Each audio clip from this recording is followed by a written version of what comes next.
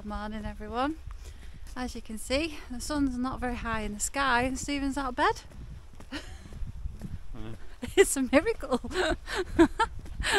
so we are on our way down into Keswick because we have a mountain goat tour booked.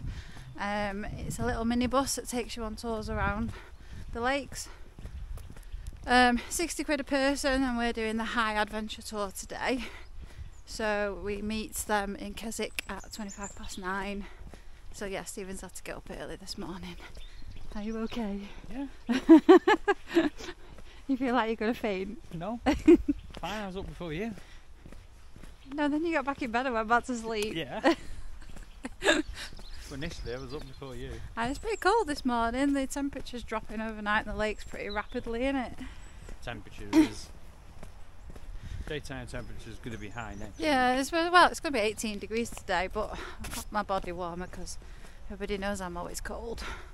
we can always leave them on the minibus. It's cold now. It's quite nine, nine, quite nine, nippy. 10 degrees. Even though it- it's beautiful, it's going to be a lovely day, we hope, um, because we're going to do some really good looking scenic routes today. We've got the drone, we've fixed it, we hope. we've just panned around the van and recorded and it worked, so hopefully once we get it up in the air it'll do the same. So yeah, we'll take you with us on this uh, mountain goat tour and see whether it's worth the money. So this is our bus. Um, we're a little bit early, which is a good thing because we're usually late, and we're just waiting for the driver. He looks like he's cleaning the windows. So we've just done a little um, stop to have a look at that is Elter Water Village down there, apparently, and uh, we're heading into the Langdale Valley, which is the driest valley in the Lake District because it doesn't have a lake. It's really interesting so far. So we've just done another stop. We've come up a pass down there, which was a 25% incline, and the minibus wheels were skidding coming up of it. And apparently, up Hardknott Pass, which is another one we're going up, is even worse. Yeah. but this behind us, this little tarn, is Blea Tarn, which apparently means blue water. Um, we're quite lucky with the weather at the minute, aren't we? Oh, stunning. It's isn't it? stunning, yeah. Hopefully we get a longer stop at some point so we can get the drone up. But we're literally just doing short stops for pictures and short amount of video time because we've got quite a long way to go over some quite difficult roads. but the guide Kevin is brilliant, absolutely brilliant. Knows his stuff. He's a good driver, and he's 70 and he could probably outstrip the rest of us, couldn't he? he's brilliant. Um, but yeah, we'll get back in the bus and uh, carry on up this pass.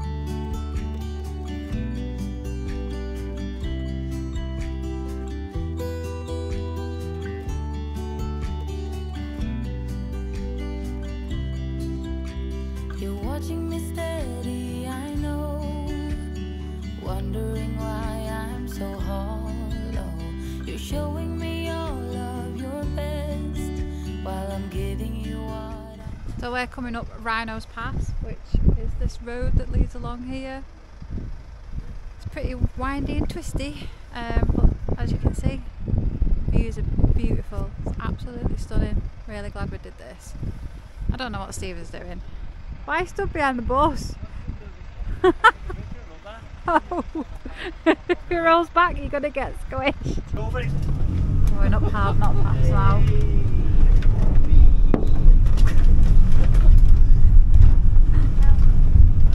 So we're just coming to the top of Hardknott Pass now. Um, yeah, it's fun, but I wouldn't fancy driving it. Look, that's the pass there. Pretty cool.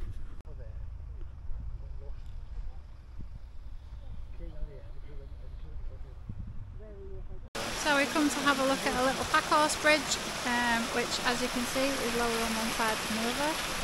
So apparently it's the old pack horse route and they used to transfer one pack from the other. So it's the way that they used to come through the valley. Yeah. That's pretty good, mm-hmm.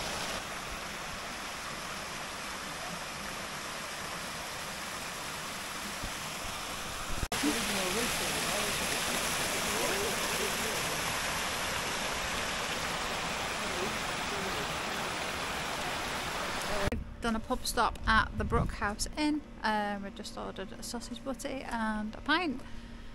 just a little lunchtime stop. But yeah, so far it's been really, really good. I'm really enjoying it. I'm glad we chose the High Adventure Tour. The Six Lakes Tour um, looks also really good if you haven't done a lot of the lakes. We already have, so wouldn't be any good for us. It's kind of all the tour- touristy stuff, whereas this is a bit more off the beaten track kind of thing. Um, so I think we're on our way to Wastwater, um, which is the deepest lake in England. So we're going to have our food and get on our way there. Cheers.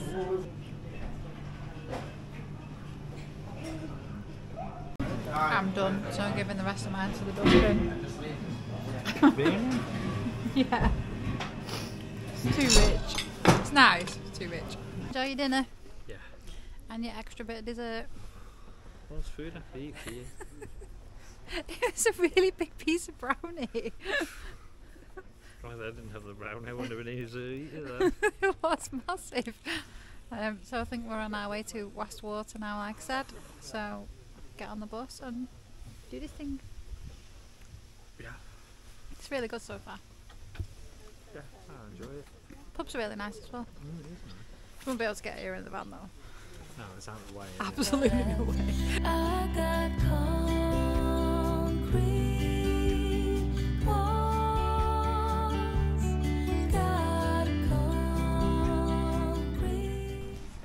So we've made it to Wastwater, um, which is the deepest lake in the Lake District.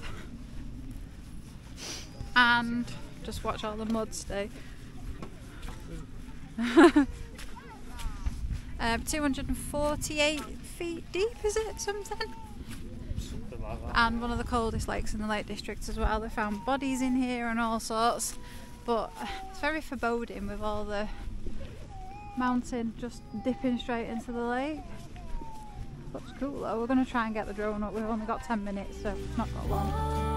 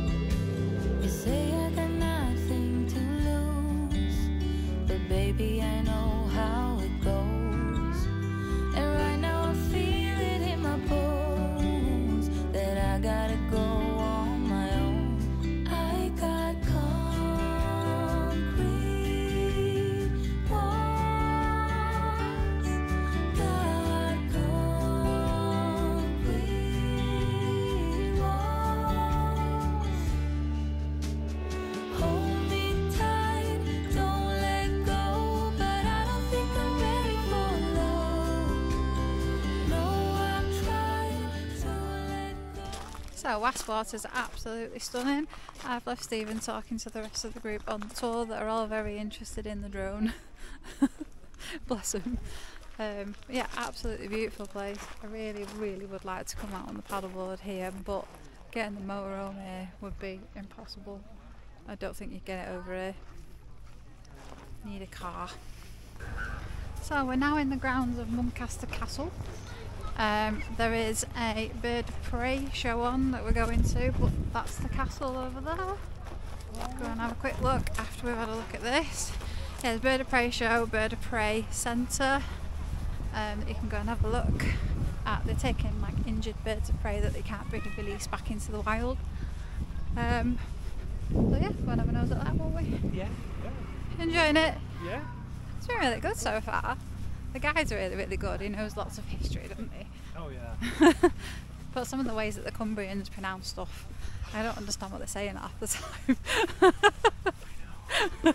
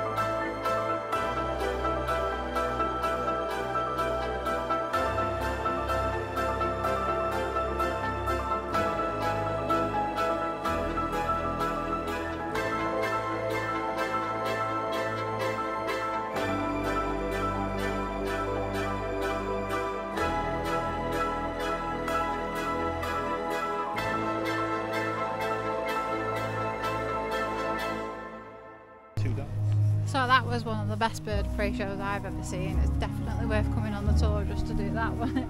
Yeah. It's I've never brilliant. seen one before. Absolutely brilliant. I've seen a few at county Any- fairs and stuff, but yeah, that's that was really really good. So we're off to have a look at the castle, get a cup of tea, and then I think that's it for the tour, isn't it? Uh, yeah, I'm back. Then back? Past Sellafield.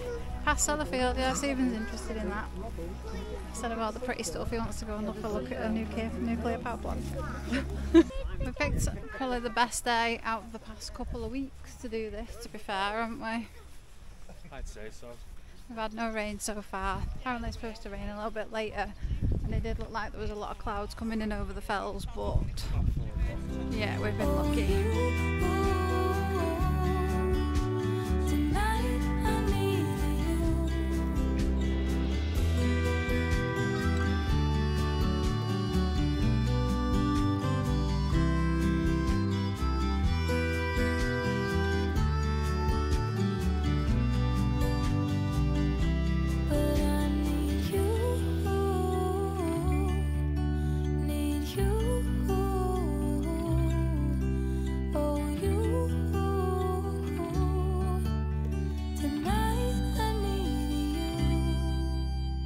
This is definitely a castle with a view. Look at that. Very sunny. Just heard an absolutely huge bang. I don't know if they're firing cannons or something or shooting him, but it was loud that, wasn't it? Wasn't my bum. what was that? No idea what that was. Good job it didn't happen when the birds were out. It would have scared them. Probably wasn't. It was cool. They were very uh, low over people's heads. I'm glad we sat where we did. I know, yeah, we, didn't- we, we didn't get it. we didn't get hit. yeah, but definitely recommend this place. It's stunning. We're going to go and have a look. Um, we've got a bird prey centre, so we're going to go and have a look in there. Yes. And then he wants a cup of tea. Cup of coffee. So he's happy. He's got a coffee. And I've got an ice cream. Coffee. Coffee. I make coffee. Oh, you bought your own coffee. Yeah, no, yeah, you never get your purse out, do you? Nah. What's the point having an husband if you don't pay for stuff? I'm only joking. I do pay for my own stuff. When? Um, my own stuff. All right, so you pay for your ice cream. No. Did you pay for your lunch? no. Treating me. Being nice for a change. It's our anniversary in two weeks. You buy me? You mind me? Uh, 20 years of putting up with you. I think I need a crown. need the crown jewels. You can have my jewels. No thanks. Alright, keep them to yourself. Oh, oh, that's freaky. Wow, look at the size of them, they're huge. So this guy is a Eurasian eagle owl. You can hear him talking to me. Stephen, Man, you're scary. I don't know what that one is. Scary.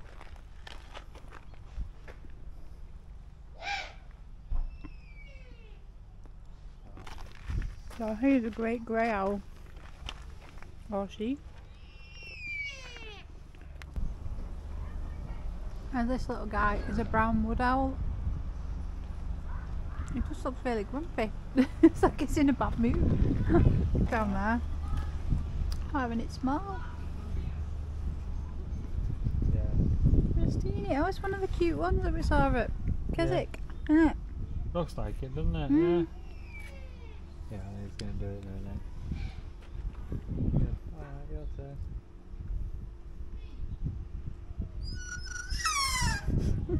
I finished my ice cream. that was really nice actually.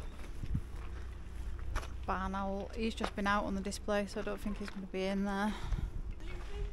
Tawny owl? They're the ones you always think about when you think about an owl, aren't they? Yeah. Oh look, he's Good. asleep.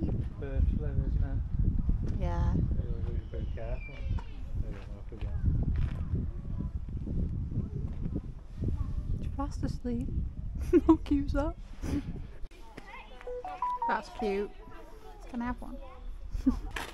There's another burrowing owl. But look how small they are. They're proper cute. So these are the vultures. that we've just seen being displayed on all the flights. They were absolutely stunning. Oh, they're not. They're not ugly birds. They're big though. Yeah, they are bigger than you think, aren't they? Yeah. A lot bigger than you think. Necessary in the wild. Clean up crew. so that concludes our little walk around the birds of prey. I think the ones that have been on the flights are out at the back there, giving them a rest. Um, yeah, it's been good. I'm Muncaster Castle, so we've got half an hour. Got to be back on the bus, and then back to site. I'm going to see if he can drop us off further up because we went past our site, even though we walked down into Keswick to meet him. So Probably we'll see. well, we can ask. We've also got this little pretty church. What's it called? St Michael and All the Angels in Muncaster Parish Church. Come wild for Walgreens. One. So this is in the grounds of Muncaster Castle. That's old, doesn't it? I think there's somebody knocking in that. I like walking around graveyards. They're very peaceful. yeah, I'm a bit weird. well, we've got 20 minutes till our bus leaves, so Gotta pee. yeah, you need to wait. And everybody's all around the castle. There's too many people. I thought we'd come and have a look at the church.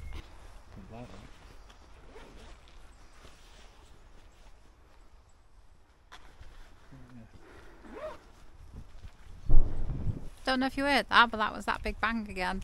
I don't know what it is. Can't be a bird scarer. It's too loud, isn't it? Uh, no, because the only places that are mining now is Hol-. No, I said a bird scarer, not mine. No, bird scarer's not as deep as that. I don't know what it is. It's very loud. It's not a gun. It's like a boom, booming. Right, let's go and get you to the toilet. Back at the van now. Um, the lovely minibus driver gave us a lift back, which was really nice of him. He dropped us off at the bottom of the lane, so we only had the lane to walk up. We were going to get the bus anyway. We weren't walking back up the hill, were we? No, we weren't. There was definitely no uh, gloves about that. But as you can hear, we've uh, been really lucky with the weather because it's just started to beat down. Yeah. You're right there, Doug. Yeah, okay? You broke? Tired. so yeah, we're going to sign this video out from here. Um, come here. The next one we do will probably be Stratford. But Yeah. on another note, 60 quid a person that worked out at. We didn't pay that. Uh, Read about. but for 60 quid all day to do that, bang on, and you don't get taken to the most expensive pub for your lunch. Uh, even the castle was reasonably priced. Well, the castle, yeah, we, you got a free entry to the Bird of Prey show, um, the castle grounds, and the Bird of Prey um, area, the aviary. Um, but you would have to pay to go into the castle. I think it was about six pound per person.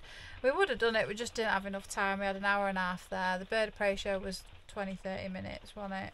Probably it's no longer. Yeah. Um. So you just didn't get enough time. Not long, Muncaster wasn't it? Castle. 40 minutes. Go on. It was 22. Yeah, Muncaster Castle's definitely somewhere that you could spend all day exploring around. It's Yeah. beautiful, absolutely stunning.